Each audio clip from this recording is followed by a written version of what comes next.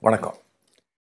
தலைவர் ரஜினிகாந்த் அவர்கள் ஸ்ரீ ஸ்ரீ ரவிசங்கரை சந்தித்த போது எடுத்த புகைப்படத்தை தலைவர் ரஜினியின் மகளான சௌந்தர்யா ரஜினிகாந்த் தனது சமூக வலைதள பக்கத்தில் பகிர்ந்துள்ளார். அந்த புகைப்படங்கள் தற்போது வைரலாக பரவத் தொடங்கியுள்ளது.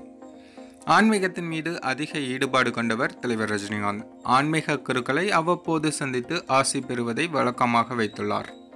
அந்த வகையில் தற்பொழுது வாழும் கலை அமைப்பின் நிறுவனரும் ஆன்மீக குருவுமான ஸ்ரீ ஸ்ரீ ரவிசங்கரை சந்தித்து ஆசி பெற்றுள்ளார். இந்த சந்திப்பின் போது தலைவர் ரஜினிகாந்தின் மகள்கள் ஐஸ்வர்யாவும் சௌந்தர்யாவும் உடனிருந்தனர்.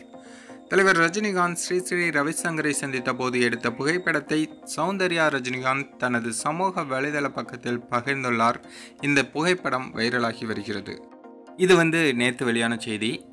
தலைவர் ரஜினிகாந்த் அவர்கள் ஸ்ரீ ஸ்ரீ ரவிசங்கரை ஆன்மீக நோக்கத்தில் நேற்று சந்தித்து பேசியிருக்காங்க.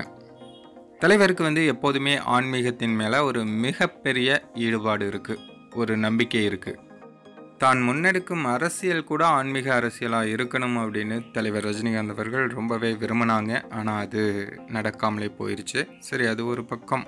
அது கால சூழ்நிலை இப்படி ஆயிடுச்சு ஆனால் தலைவர் ரஜினிகாந்த் அவர்கள் வந்து ஆன்மீகத்தின் மேலே ஒரு தீரா நாட்டம் கொண்டவராக இருக்கார்.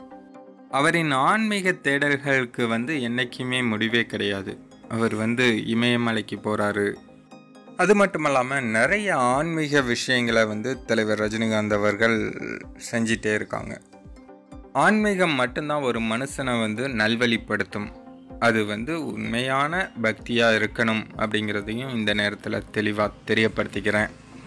ஏன்னா நிறைய பேர் வந்து ஆன்மீகத்தின் பெயர்லையும் சில பல காரியங்கள் பண்ணுறாங்க என்றைக்குமே ஒரு சமுதாயத்தின் முன்னேற்றம் அப்படிங்கிறது ஆன்மீகத்தையும் அறிவியலையும் சார்ந்து இருக்கணும். அப்போ தான் அது சீரான முன்னேற்றம் அடையும். வாழ்க தமிழக மக்கள். வளர்க தமிழ்நாடு.